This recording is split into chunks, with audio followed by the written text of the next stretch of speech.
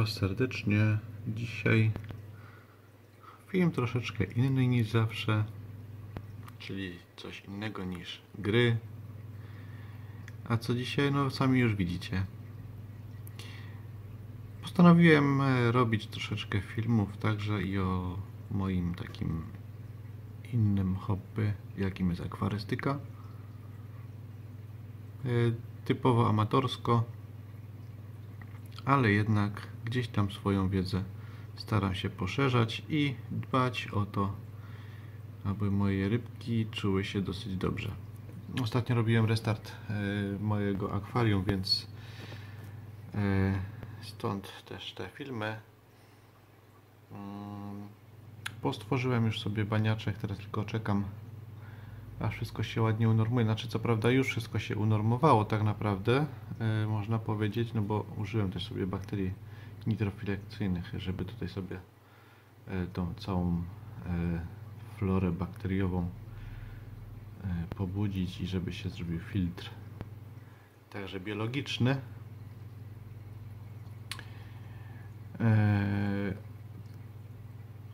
Mimo wszystko i tak będę jeszcze musiał obserwować sobie tutaj cało, cały zbiorniczek, bo mm, akwarium zazwyczaj tak mniej więcej dojrzewa przez 4 tygodnie, więc zanim ta równowaga się tam gdzieś e, pojawi, mm, póki co cały czas stan wody jest e, wręcz bym powiedział idealny. Nic się tam złego nie dzieje. Mm, więc staram się tego pilnować. E, Co jeszcze chciałem powiedzieć? No i chciałem powiedzieć coś na temat tego mojego baniaczka tak naprawdę, bo zastanawiałem się po prostu, czy nie robić vloga i co jakiś czas wrzucać, co tam się właśnie w moim baniaku będzie działo. Teraz już jest praktycznie już e, w pełni obsadzony. E, Może jeszcze tutaj parę rybek się e, dorzuci do niego. I tutaj jeszcze się zastanawiam właśnie, czy aby na pewno coś jeszcze wpuścić. Jeśli tak, to i tak będę to dopiero robił e, gdzieś w maju. E, Na razie niech sobie tutaj to wszystko, tak jak mówię, e, stara osiągnąć tam taką równowagę między mm, wiadomo, organizmami żywymi typu rośliny, ryby, flora bakteriowa. Wiadomo, tutaj jeszcze chodzi o te wszystkie chemiczne kwestie, czyli azotany, fosforany i tak dalej, i tak. Każdy, kto tam kiedyś się troszeczkę bardziej zainteresował akwarystyką, to wie, że to są dość istotne rzeczy. I to właśnie chciałbym ewentualnie gdzieś tam poruszać na moich filmach, czyli tam od czasu do czasu wrzucić film z tego zbiornika i opowiedzieć coś na temat konkretnej czy rzeczy związanych z akwarystyką. I myślę, że tak to mniej więcej będzie wyglądało, ale na początek po prostu pomyślałem, że przedstawię jak wygląda moje akwarium. Potem będę też chciał powiedzieć coś na temat jak nie powinno wyglądać akwarium, yy, na przykładzie dokładnie nawet. Jakim przykładzie powiecie? No, na moim przykładzie, kiedy w ogóle zaczynałem z akwarystyką, wtedy, hmm, jak teraz na to patrzę, to było jedno wielkie nieporozumienie tak naprawdę. No i parę spostrzeżeń swoich e, odnośnie chociażby hmm, zakupów w sklepie akwarystycznym, bo wiadomo, spotyka się tam też innych kupujących, no i takie moje luźne przemyślenia na ten temat też bym chciał gdzieś tam umieścić. E, w ramach raczej nauki, żebyście, jak już chcecie się czymś takim bawić, to znaczy bawić. mm. Akwarium to nie jest tak naprawdę e, zabawa, ale e, pełni funkcję mm, w domu zazwyczaj ozdobną.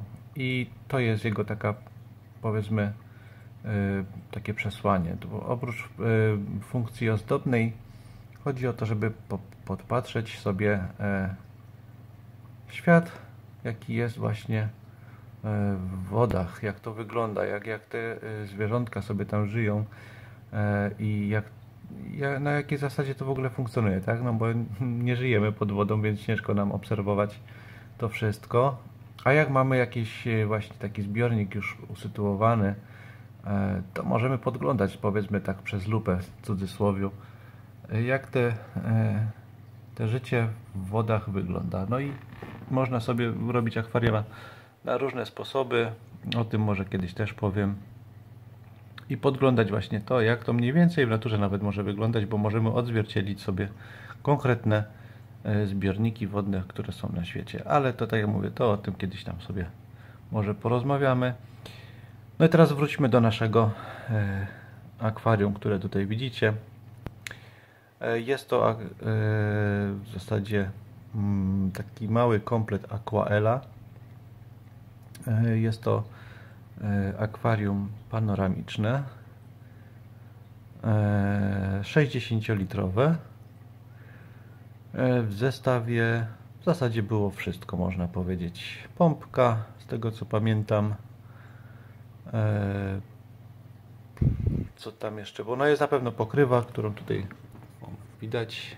Ją już przerabiałem sobie, e, więc mamy pokrywę z oświetleniem LEDowym w moim przypadku i w większości przypadków już w tej chwili raczej innego nie będziecie mieli w zestawach, tylko LEDowe, bo już wszystko przechodzi właśnie na LEDy. Kiedyś były e, neonówki, e, też miałem takie akwarium, bo kiedyś miałem dużo większy zbiorniczek, znaczy dużo większy, dwa razy większy zbiornik praktycznie, bo miałem 112 LEDowy, 112 litrowy i też to chyba było z Aquaela. Też panoramiczny, tak jak ten, dlatego Spodobały mi się akwaria panoramiczne, ponieważ um, inaczej się je ogląda niż takie zwykłe kostki. Znaczy w sumie nie kostki, a prosto podłościany tak naprawdę. E, czym się różni akwarium panoramiczne? No nie wiem, czy to jest tutaj widoczne, ale chodzi o to, że szyba przednia tutaj jest e,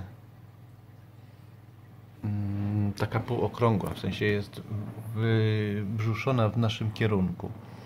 E, to daje lepszą perspektywę, perspektywę obserwacji tego, co się dzieje w akwarium. E, I dlatego też wybrałem tego typu sobie akwaria. Ale oczywiście można sobie wybrać jakikolwiek akwarium. Chodzi tutaj głównie też o litraż który możemy mieć w swoim mieszkaniu, tak? No bo wiadomo, nie każdy ma e, mnóstwo miejsca w domu, żeby postawić nie wiadomo jak duże akwaria. Mm, ja generalnie w sumie mógłbym mieć tutaj jeszcze większe zamiast tego, ale jakoś tak e, chciałem właśnie takie troszeczkę mniejsze, aczkolwiek tak jak mówię na temat litrażu może też sobie jakiś film zrobimy, dlaczego jaki litraż sobie wybrać do domu? E, i do czego będzie, co można w nim sobie tam e, umieścić. No i teraz tak, wracając do mojego, tak jak widać, e, mam tam skały właśnie takie, nie pamiętam w sumie co to były za skały, może w następnych filmach poszukam sobie tą aukcję, bo to oczywiście kupiłem sobie na Allegro, łącznie z piaskiem, to jest piasek kwarcowy, bardzo drobny, bo Mm, on nawet chyba poniżej 1 mm e, grubości ma. Jak dobrze pamiętam od 0,03 do, do, do 0,08 w każdym bądź razie piasek kwarcowy jest y, na, na, na dnie tutaj. Jedyna jeszcze drobna rzecz jaką ja sobie tutaj zrobiłem to podeszłem troszeczkę pod kątem roślin e, w tym akwarium E, bo też chcę, żeby się tutaj dobrze e, prezentowały, czyli dobrze mi też rosły. Więc zrobiłem sobie także podłoże, tak jak tu w rogu widzicie, takie czarne jest, więc, a to nie jest piasek. Można sobie wymieszać troszeczkę podłoża i tam, gdzie mamy rośliny, przynajmniej te większe, tam na tle, czy tam na środku akwarium, dać ziemię. Jaką? No wystarczy zwykła ogrodnicza e, ziemia też się do tego nadaje. Mm, czy torfowa? No tu już trzeba się zastanowić. E, ja mam uniwersalną ziemię kwiatową, tam troszeczkę torfu chyba, nie, tam chyba torfu nawet nie było, e, bo torf też ma wpływ na wodę jaka jest w akwarium. W każdym razie już kiedyś też stosowałem właśnie ziemię kwiatową, taką uniwersalną do akwarium i gwarantuję Wam, że bardzo dobrze się sprawdzi e, w, w rozroście roślin. Ale to nie jest jedyna rzecz, która tutaj jest potrzebna, aby rośliny nam dobrze um, się hodowały i rozwijały. E, jeszcze tutaj światło odgrywa dużą rolę. E, w tej kwestii akurat co do mojego akwarium to jeszcze muszę popracować nad oświetleniem bo mam w tej chwili tylko oryginalne, a oryginalne to tak troszeczkę słabo, mm, w szczególności na te rośliny tutaj, które można też zobaczyć. E, te z tyłu wysokie, e, nie są one zielone, one są takiego brązowego koloru. To, jak dobrze pamiętam, to był włócznik rdzawy Myriopylium tuberculatium Aczkolwiek nie jestem pewien, bo nie sprawdziłem sobie tak naprawdę tej nazwy w sklepie, jak kupowałem. Mm, ale to jest z tej rodziny tych, tych, tych roślin. Bo chciałem mieć właśnie tak troszeczkę różnokolorowe rośliny. Na czerwone się jeszcze tutaj w zasadzie do końca nie, nie, nie kupowałem czerwonych roślin, ale to właśnie o te rośliny właśnie chodzi, takie brązowawe, ciemniejszego koloru i o czerwone rośliny do akwarium one są trudne dosyć w uprawie i potrzebują naprawdę dobrego światła. Mm, dlatego potrzebny będzie też tutaj troszeczkę przeróbek w tym akwarium. Jedną już zrobiłem sobie w klapie, musiałem tam troszeczkę wyciąć e, na filtr miejsce.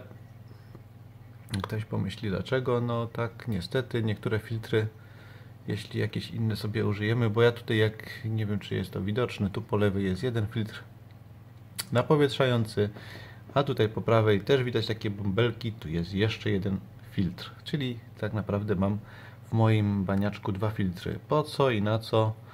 Też Wam kiedyś wytłumaczę. Dobrze, czyli tak, e, mamy tego włócznika rdzawego, mamy jeszcze tutaj kabombę, to jest ta roślinka z tyłu też, taka bardziej pierzasta bym powiedział, e, ładnie zielona, Większość akwarystów, nawet amatorów, powinno kabombę znać. Jest to dosyć znana roślina. Mm, czy jest łatwa w uprawie? I tak i nie. Bym powiedział, że raczej średnio. Mm, tutaj jakoś jeszcze się za bardzo nie rozwinęła, więc zobaczymy, co z tego wyjdzie. E, ale w moim starym akwarium, tym 112-litrowym, w którym e, kiedyś miałem, to kabomba mi się bardzo dobrze rozwijała, aczkolwiek tam miałem też inne oświetlenie, bo tam miałem dwie neonówki 18W, więc no, ma to też swoje jakieś tam e, plusy, minusy. Na LEDach jeszcze za bardzo się tutaj nie ogarnąłem, więc wiem, że na pewno mm, LEDy nie są zaprojektowane do takich roślin bardziej wymagających e, z oryginalnych klap, które są E, bo to raczej oświetlenie wystarcza na takie mm, rośliny, które są e, cieniolubne bym powiedział. O tak się można spotkać z taką nazwą. Czyli nie wymagają dużej ilości światła. I taka roślina, która nie, nie wymaga aż tak bardzo, e, w zasadzie mam też tutaj, to jest tutaj, to, którą dałem też troszeczkę tak powiedzmy, hmm, troszkę z przodu, aczkolwiek to jest taka roślina bardziej na drugi, trzeci plan w akwarium. E, Limnofilia e, Cecilii flora. E, to jest tutaj ta wysoka właśnie, którą widzicie e, na ekranie. E, bardzo ładna, łatwa w uprawie. E, też chyba kiedyś ją miałem w starym akwarium, więc ona się powinna tutaj przyjąć, aczkolwiek już widać, że dosyć dobrze się rozwija, więc nie ma tutaj większego problemu. Oj, E, kolejna roślina, która zagościła w tym baniaczku, to tutaj z przodu ten mech. Jest to mech Xmas Moss. E, nazwa skąd się wywozi. Mm. Więcej na temat tych roślin jeszcze może będę mówił w jakimś filmie. Tutaj tylko podam Wam nazwę i tak pokrótce. E, ten mech ma tą nazwę ze względu na to, że Teraz ta roślinka, nie wiem czy to będzie dobrze widoczne tutaj, ale tak słab, nie, no, słabiutko troszeczkę. Spróbuję przybliżyć. O, nie wiem czy widać, ale te gałązki z tego mchu e, wyglądają tak troszeczkę jak choinki, tak przypominają powiedzmy gałęzie choinki i stąd ta nazwa się wzięła Xmas chmos e, związana z, z podobieństwem do świerków e, czy tam e, jodełek świątecznych i, i dlatego tak się to nazywa, ta roślinka. Coś więcej na tych, temat tych roślin jeszcze Wam gdzieś Wam pewnie podam, tak jak mówiłem. I ostatni, to też jest mech. Eee, tak przynajmniej to nazywają mchem. W każdym razie jest to roślina na trawnik. E, Hemianthus. E, ja mam e, tego, tą niską wersję, to jest potocznie nazywana ta roślinka akwarystyce polskiej jako mały heniek. Bo to takie zdrobnienie od Hemianthusa heniek się przyjęło i że mały, bo, bo to jest niska. I to powinna roślinka się to ładnie rozejść właśnie. Jak mamy dobre światło, no bo to właśnie dla tych dwóch roślinek też jest bardzo ważne światło. Czyli dla każdej rośliny trawnikowej, którą dajemy do akwarium, e, światło odgrywa bardzo dużą rolę. E, ponieważ musi dotrzeć na, sam, na samo dno naszego akwarium. Więc jak mamy wysokie akwarium, to tym bardziej potrzebujemy światło i to też nie takie zwykłe, e, bo musi być też tam troszeczkę światła czerwonego i niebieskiego, E, bo rośliny tego wymagają, ale to na temat oświetlenia tak samo jak i tych kwestii związanych z roślinnością pewnie spróbuję Wam nakręcić na jakiś odcinek. Dobrze, e, to tyle jeśli chodzi o rośliny. W moim akwarium nie jest tego dużo, bo 5 gatunków tak naprawdę. E, I teraz przyszła pora na zwierzątka.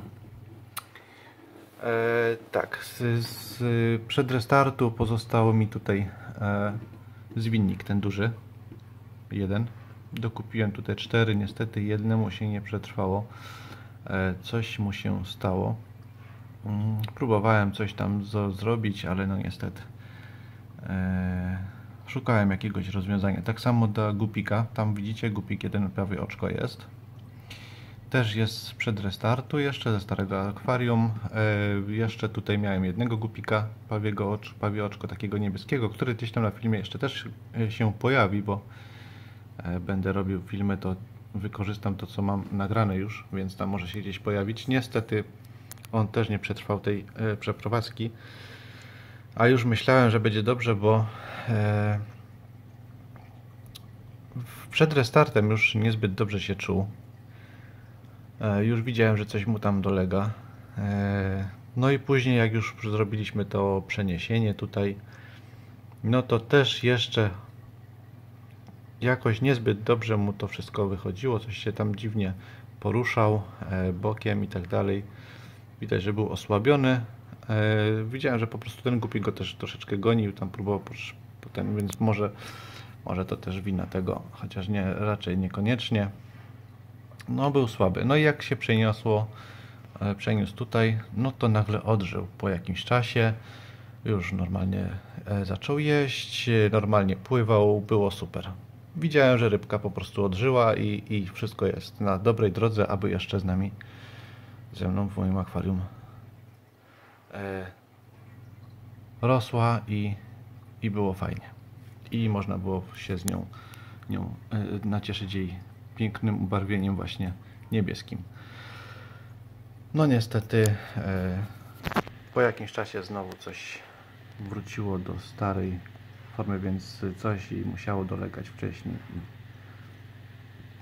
Ta chwila dobrej kondycji jakby była tylko na moment, bo to w zasadzie na dwa dni, po dwóch dniach znowu wszystko się e, powróciło tak jakby do starej rzeczy. Nie wiem w czym problem, bo codziennie sprawdzam moją wodę i naprawdę nie było tutaj żadnych odchyleń jeśli chodzi o potrzebę, a nawet bym powiedział, że w kwestii e, wszystkich e, twardości, pH, e, zdecydowanie azotanów też woda jest idealna.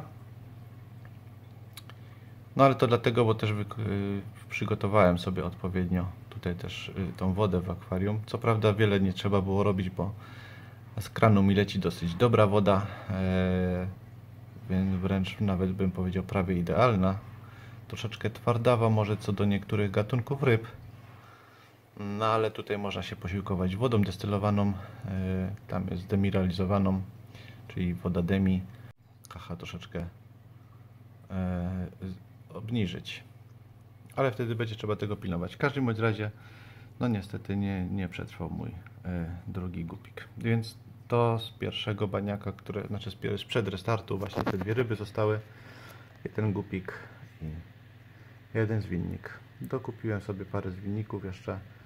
Trzy malutkie zwinniczki. No już są większe, już podrosły przez te w zasadzie można powiedzieć 15-14 restart chyba robiłem, teraz no tydzień temu, czyli akwarium jest już tak około tydzień, tydzień, jeden dzień po restarcie.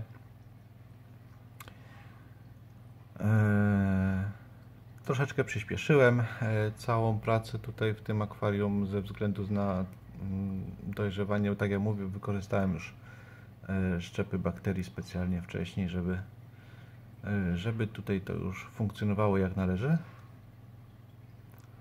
E, szybciej, bo normalnie bez preparatów też można startować akwarium, ale wtedy trzeba 3-4 e, tygodnie, a zanim akwarium się zrównoważy i w tym momencie się nie zarybia takiego akwarium, po prostu same roślinki po dwóch tygodniach można tam wpuścić jakieś takie rybki typu właśnie gupik, których też może nie być nam szkoda, aczkolwiek każdej ryby szkoda, przynajmniej mi. E, I też nie powinno się tak robić. Dlaczego gupik? No bo gupik też jest rybą, która jest dosyć wytrzymała i ma dosyć duży zakres, jeśli chodzi o, e, o proporcje różnych tam właśnie twardości pH i wytrzymuje naprawdę wiele, jeżeli chodzi o wodę. Dlatego warto takiego gupika czy tam parę dodać do akwarium. Wtedy już wiadomo, są też i zwierzęta, wtedy też i E, I to ma wpływ na mm, mikrobiologię i makrobiologię w naszym akwarium. Wiadomo, są ryby, są odchody, e, jest jedzenie i tak dalej. To ma wpływ na azotany, azotyny też. E, I wtedy już kolejne kwestie dochodzą do wody i tym samym tu też musi się wytworzyć biologia odpowiednia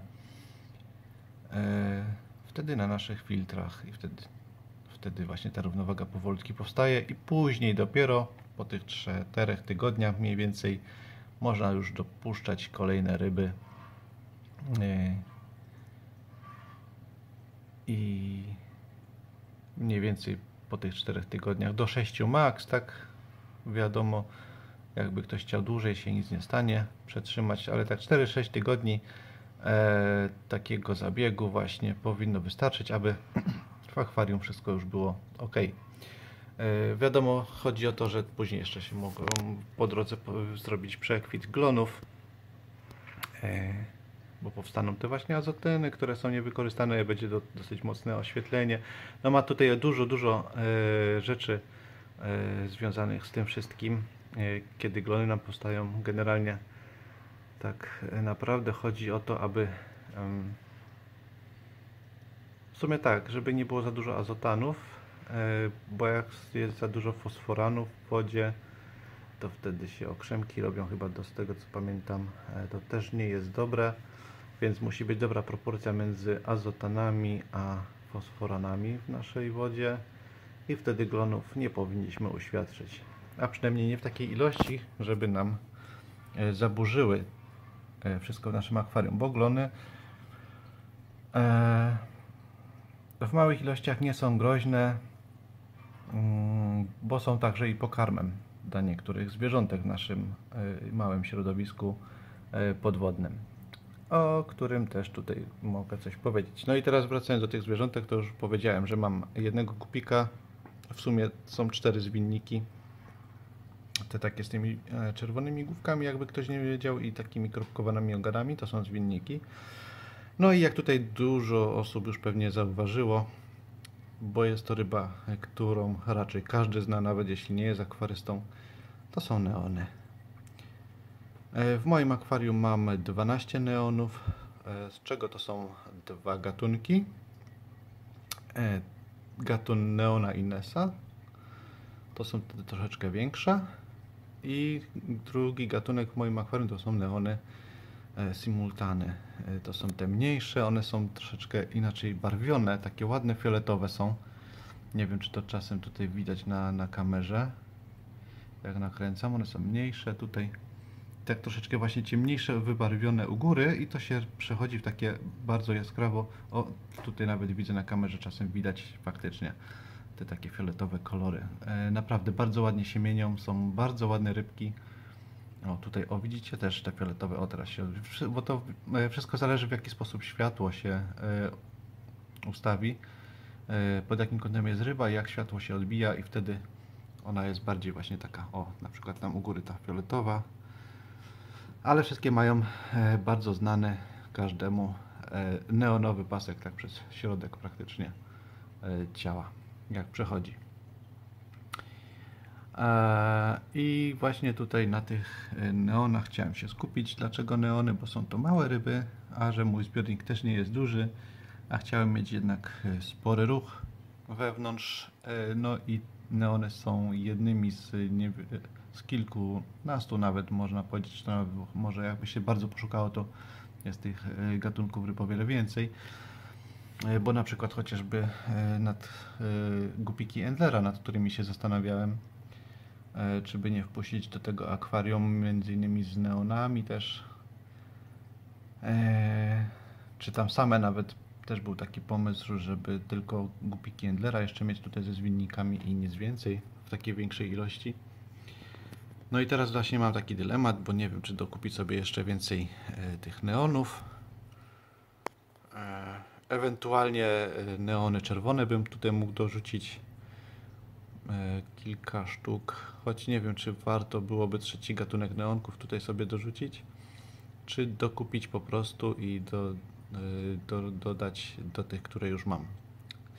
Tak naprawdę zastanawiam się nad tymi najmniejszymi tutaj gatunkowo neonami, czyli tymi symultanami, bo tych bym mógł mieć jeszcze więcej. Dobrze. E, I to wtedy ławicowo bardzo ładnie wygląda, jak ryby się e, tutaj z jednej strony na drugą przemieszczają naszego akwarium. Bardzo ładnie to wygląda.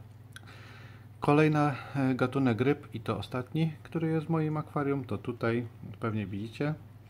Jedna się przykleiła do szyby, druga jest na piasku. Mam w sumie cztery. Aha, tych y, neonów mam 6 z jednego gatunku i 6 z drugiego gatunku, czyli łącznie 12 sztuk. Y, a te tutaj to są otoski. Y, bardzo fajne rybki, przyjemne. Troszeczkę przypominają kosiarki, tyle że są o wiele mniejsze od kosiarek. Mnie się rybki bardzo podobają, choć Niektórzy mogą powiedzieć, że te rybki nie są jakoś super, no bo nie są też jakoś specjalnie barwione, no bo są takich szaro, szarowych kolorów z takim grafitowym paskiem e, przez całe ciało. Od głowy aż po, e, aż po właśnie, o, tak jak tu widać, aż po ogon. O, teraz ładnie widać naszego otoska. Ale bardzo mi się podobają te rybki. Są bardzo żwawe e, i i coś więcej może kiedyś jeszcze o nich wspomnę na kolejnych filmach, jak będę się bardziej szczegółowo e, w, w, próbował powiedzieć na temat tych e, wszystkich ryb, które tutaj posiadam, ewentualnie na temat innych, może też będę robił filmy, których nawet nie posiadam, a są ciekawymi rybami, ale zobaczymy. E, to jest mój pierwszy film, jeżeli chodzi o ten temat i jest naprawdę, jak widzicie, bardzo luźny, po prostu bez żadnych przygotowań kręcę i omawiam co myślę, co, co, co chcę Wam przekazać. Więc tak to mniej więcej będzie teraz wyglądało, a później będę raczej starał się przygotować jakieś konkretne materiały, żeby nie zagadywać za bardzo i nie zanudzać. I tak się zastanawiacie, a co to tam na szczycie tego, tego, tego yy, wywłócznika? No to już Wam mówię i jeszcze nawet troszeczkę przybliżę. Teraz chyba już każdy wie co to. To jest kolejne zwierzątko, które znajduje się w moim akwarium. Jest ich 10, a przynajmniej tyle wpuściłem. Problem w tym, że one są naprawdę e, dosyć drobne i jak się gdzieś między rośliny wejdą, a wszystkie po roślinach tutaj mi się chowają, po to też te rośliny mam, e, bo to są krewetki. One potrzebują e, też właśnie takich miejsc różnych skrytek typu właśnie rośliny, takie dosyć gęste.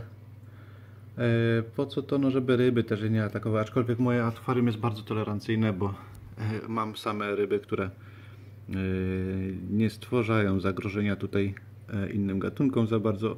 Tym bardziej, że to są bardzo łagodne ryby i, i raczej takimi tutaj będę się operował w moim akwarium. Nie chcę żadnych drapieżników póki co, przynajmniej nie w tym akwarium. Kiedyś miałem bardziej drapieżne ryby, bardziej terytorialne ryby. E, no jako typowo mięsożerców nigdy nie miałem, ale no jeśli chodzi o e, kwestie właśnie terytorialne, to tak. E, miałem pielęgnice, które są naprawdę bardzo, bardzo terytorialnymi, terytorialnymi rybami, w szczególności jak już złożą ikrę, to już całkowicie pilnują swoich terenów tak na maksa. Więc no też trzeba uważać jak się zarybia i robi takie właśnie akwarium z większą ilością gatunków ryb. E, to też jest dosyć istotne. E, więc takich 10 e, red sherry się znalazło w moim zbiorniczku. Zaobserwowałem jedną ważną rzecz u nich. Bardzo dobrze im tutaj i szybko nawet się rozwijają, rosną. Już tutaj widziałem parę e, wylinek, więc e, po tym świat e, wydaje mi się, że naprawdę mają ogrom pokarmu, który im wystarcza i i po ich rozmiarach już też widzę, że jednak są już większe niż tutaj zanim je wpuściłem, czyli po zakupie bo te redszery były dosyć takie dosyć malutkie krewetki E, co prawda one też jakoś super duże nie są, bo z tego co pamiętam to 4 cm może będą miały. E, ale tak jak mówię, tutaj po tych roślinkach wszystkie się e, chodzą. Czasem wychodzą tutaj naprzód, na te skałki. Ewentualnie tutaj chodzą po tym małym heńku, czy tam gdzieś pomiędzy wejdą. E, więc tak mniej więcej się moje akwarium tutaj prezentuje. Jestem z tego bardzo zadowolony, że udało mi się je wystartować i na razie większych problemów nie ma. Na razie jedyny problem jaki widzę i zastanawiam się jaki, jak temu zapobiec. Znaczy staram się na razie zapobiegać E, bo lepiej zapobiegać niż potem e, coś kombinować w akwarium. Ogólnie zawsze tak warto, mm, więc e, nawożę też moje rośliny specjalnym nawozem, a w zasadzie chodzi o, o CO2, czyli o, o, o węgiel. Mm, mam nadzieję, że on pomoże tym też brązowym roślinom do czasu, kiedy nie uda mi się ogarnąć lepszego oświetlenia. Ale wiem, że jak będzie lepsze oświetlenie, to mogą pojawić się kolejne problemy wtedy, bo im więcej światła, tym więcej odżywki także i dla, dla glonów, więc różnie może być. W każdym bądź razie na razie tylko obserwuję też co się dzieje z roślinami. Póki co zielone bardzo ładnie rosną. Więc myślę, że z nimi nie będzie dużych problemów. Zastanawiam się tylko, czy taka bomba faktycznie się tutaj ładnie rozwinie, czy, czy jednak też będzie problem? Bo widzę, że tutaj troszeczkę te roślinki mi się od spodu już e, jakby zrobią łyse, czyli nie wiem, czy po prostu krewetki tam coś zadziałały, czy jakieś ryby, że te części roślin nam, mi się tutaj w akwarium gdzieś zapodziały, a w zasadzie gdzieś może pływają tam przy pompce, widzę przy filtrze e, też troszeczkę tych roślin się poprzyklejało już, w sensie pompka je zassała, więc oderwane po prostu są e, od krzaczków. No, a teraz nie wiem, czy tutaj dobrze widać, ale popatrzcie, tutaj parę tych krewetek już jest. Ja ich, jak tak patrzę bez aparatu, to widzę 2, 4, 5, 6, 7 krewetek już widzę, czyli jeszcze 3 gdzieś się chowają, więc e, całkiem przyzwoicie. E, kolorystycznie też bardzo ładnie wyglądają, nie straciły swojego koloru, bardzo ładnie czerwone red czerwone wisienki. Więc jestem zadowolony, bo naprawdę zastanawiałem się jak to wyjdzie, te połączenie w moim akwarium. Wiedziałem, że reczery jakoś nie są specjalnie aż tak bardzo wymagającymi krewetkami. E, głównie chodziło o twardość wody, e, więc no postarałem się, żeby było jak należy. I póki co wszystko jest. Moim zdaniem pięknie. Jeśli macie jakieś pytania albo jakieś spostrzeżenia na temat e, tego akwarium tutaj, to z chęcią się albo odpowiem, albo ja się czegoś douczę, bo tak jak mówię, jestem amatorem. Co prawda kilka lat prowadzę akwarium. E, w zasadzie to tak, to pierwszy miałem przez kilka dobrych lat, później sprzedałem, miałem kilka lat znowu przerwy. No ale niestety akwarystyka to tak e, wciąga, że człowiek później, prędzej czy później tak do tego wróci, jak tylko będzie miał możliwość. No i ja powróciłem i bardzo się z tego powrotu cieszę, bo jest to naprawdę piękny widok. Można przy tym ładnie odpoczywać e, i przyglądać się tym właśnie przepięknym stworzonkom, które zamieszkują nasze baniaczki. No bo to tylko jest malutki fragment z całego, całego, całego spektrum możliwości tak naprawdę. Mm. I tutaj wracając do takiej małej kwestii, nie wszystkie, bo wiadomo, duże ryby są bardzo piękne, ale nie oznacza że też tego, że malutkie rybki, które tutaj widzicie u mnie są gorsze. Zdecydowanie bym powiedział, że nie. Ponieważ e, i małe ryby, jeżeli mamy dobre, dobrze przygotowane zbiorniki, potrafią cieszyć i to czasem nawet bardziej niż te ogromne, których no akurat w warunkach mieszkaniowych czasem jest ciężko e, e, pomieścić gdzieś tak, żeby mieć taki duży zbiornik. A mi się marzy oczywiście też powiększenie zbiornika na taki między 200-300 litrów. Oczywiście 300 byłoby super. No, ale nie wiem, gdzie bym to później postawił. Może kiedyś mi się uda taki zbiornik mieć i, i sobie go postawić. Byłbym przeszczęśliwy tak naprawdę. No, to chyba tyle na ten odcinek. Pierwszy, yy, taki bardzo ogólnikowy na temat yy, zbiornika Yy, i zastanawiam się, czy będę robił takiego e, taki, taki vlog ala akwarystyczny, w sensie co tydzień sobie e, włączę Wam tutaj to, co się dzieje w moim akwarium, powiem, co się działo, ewentualnie, czy się nic nie działo, czy co zrobiłem, e, albo co się wydarzyło, dobrego lub złego w moim akwarium.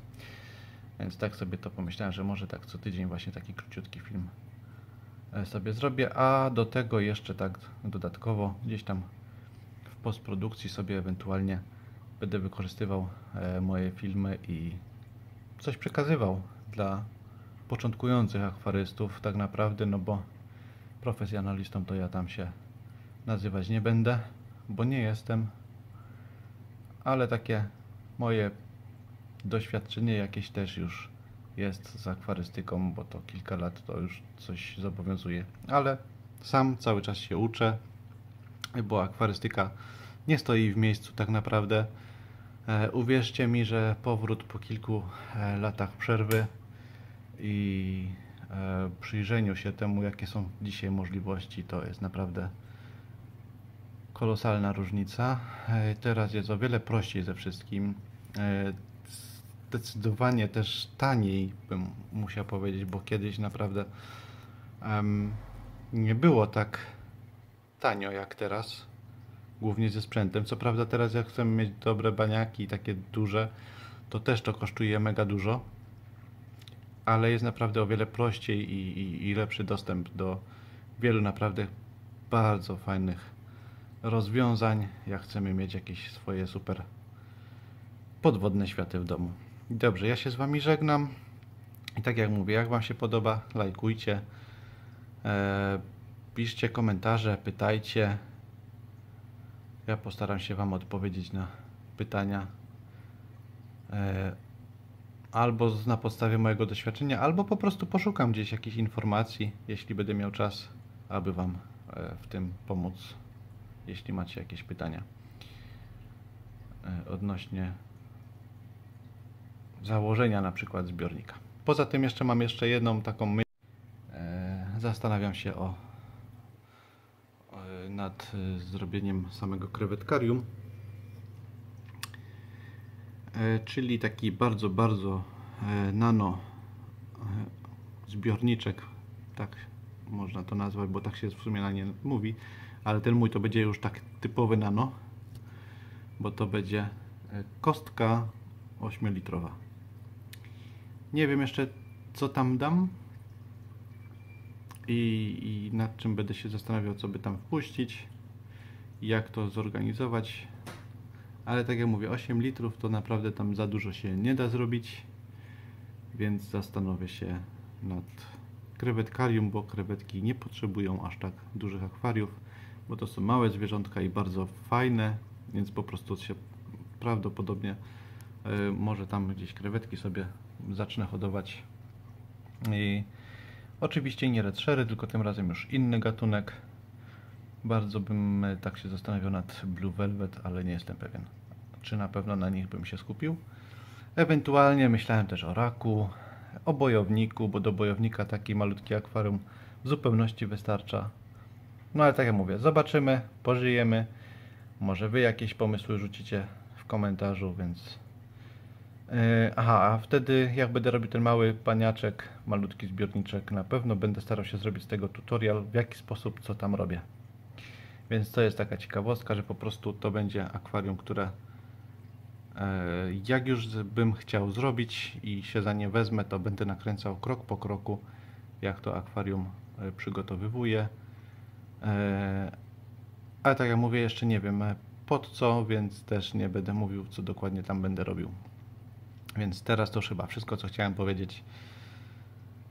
E, żegnam się z Wami i zapraszam do kolejnych odcinków, ewentualnie na kanał z grami. Jeżeli ktoś też lubi sobie pograć na komputerze, to zapraszam do oglądania e, filmów z różnych serii gier komputerowych. Oczywiście akwarystyka myślę, że jest e, o wiele lepszym zajęciem niż gry, ale można to też połączyć ładnie. Czyli pograć sobie, później sobie zrobić przerwę, uspokoić się, poobserwować świat żywych, przepięknych zwierzątek, a później można następny dzień znowu sobie w coś pograć.